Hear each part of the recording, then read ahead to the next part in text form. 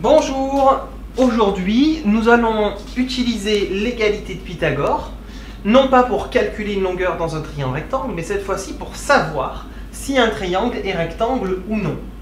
Alors, euh, on l'a vu euh, dans la précédente vidéo, euh, si un triangle est rectangle, l'égalité de Pythagore elle est vraie, ce qui permet, avec la racine carrée, de calculer la longueur d'un des côtés du triangle. Et eh bien cette fois-ci, c'est l'inverse. On a toutes les longueurs et on va se demander s'il y a bien un angle droit. Et donc, ça revient à dire, est-ce que l'égalité de Pythagore est vraie ou non? C'est tout. Si l'égalité de Pythagore est vraie, ben, le triangle il sera rectangle. Si euh, l'égalité de Pythagore n'est pas vraie, eh bien le triangle ne sera pas rectangle. Alors comment est-ce qu'on va rédiger ça correctement? Eh bien, c'est le même principe que euh, la première vidéo. Euh, il, suffit en fait de refaire des carrés qui bordent chaque côté de mon triangle et de dire il y a un grand carré, un moyen et un petit, calculons leurs aires et euh, regardons euh, si l'aire du petit plus l'aire du grand fait bien, euh, plus l'aire du moyen, pardon, fait bien l'aire du grand. Alors on va, pour ce faire, on, va le faire maintenant, hein. 4 au carré, ça fait 16, 3 au carré, ça fait 9, et 6 au carré, ça fait 36. Est-ce que 9 plus 16, ça fait 36 Non, ça fait 25. Donc le triangle ABC, eh bien l'égalité de Pythagore dans ce triangle n'est pas vraie, le triangle n'est donc pas rectangle. Parce que s'il était rectangle, ben, l'égalité de Pythagore serait vraie, évidemment. Alors, et bien sûr, je ne vais pas vous demander euh, de rédiger ça comme ça, hein. j'ai fait beaucoup de choses à l'oral, donc on va l'écrire.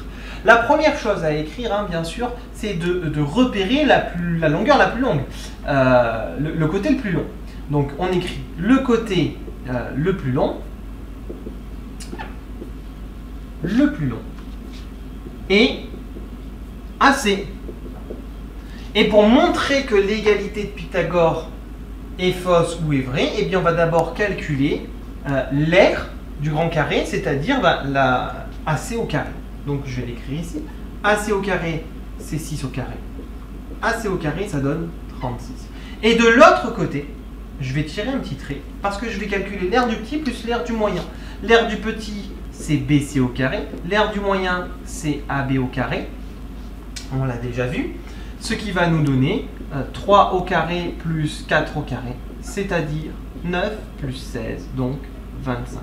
Et donc, ce qu'on voit, c'est que AC au carré n'est pas égal à 25, donc ABC au carré plus AB au carré. Donc, on va l'écrire. AC au carré est différent, notation différent, de BC au carré plus AB au carré. L'égalité de Pythagore.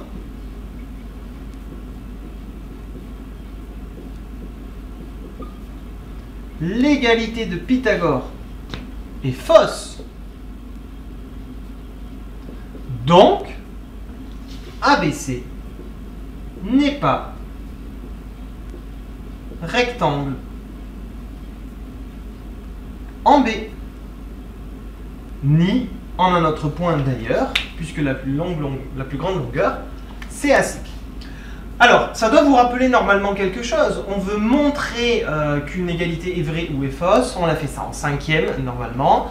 Euh, tester une égalité. On sépare à gauche les deux membres de l'égalité qu'on voulait tester. On voulait tester si AC au carré était égal à BC au carré plus AB au carré. On calcule AC au carré d'un côté et euh, BC au carré plus AB au carré de l'autre. Faisons la même chose ici, regardons ce que ça donne. Est-ce que ce triangle-là est bien rectangle? Si les rectangles, je repère le plus long côté, c'est EG. Si les rectangles, c'est forcément F, puisque le plus long côté, c'est ce qu'on appelle dans un triangle rectangle l'hypoténuse. Alors on commence à écrire hein, le plus long côté est EG. Vous notez que je mets des crochets à EG parce que j'ai parlé d'un côté. Et un côté, c'est un segment, donc on met des crochets. Euh, on va calculer du coup EG au carré. Plus besoin de faire de dessin si vous avez compris le principe. EG au carré qui donne 10 au carré, qui va donner 100. Donc d'un côté, euh, j'ai calculé l'aire du grand carré et maintenant je vais calculer l'aire du petit plus l'aire du moyen. Donc je vais faire EF au carré plus FG au carré ce qui va nous donner 6 au carré plus 8 au carré. Alors je rappelle en même temps hein, que les carrés sont des multiplications par eux-mêmes. Ça c'est 6 fois 6 et non pas 6 fois 2. 6 fois 6, 36.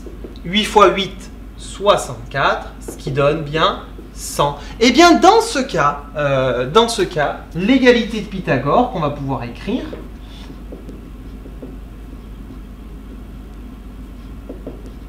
l'égalité de Pythagore, j'ai pas mis de signe différent, je mets juste le signe égal parce qu'elle est vraie. L'égalité de Pythagore est vraie. L'égalité de Pythagore est vraie. Donc, le triangle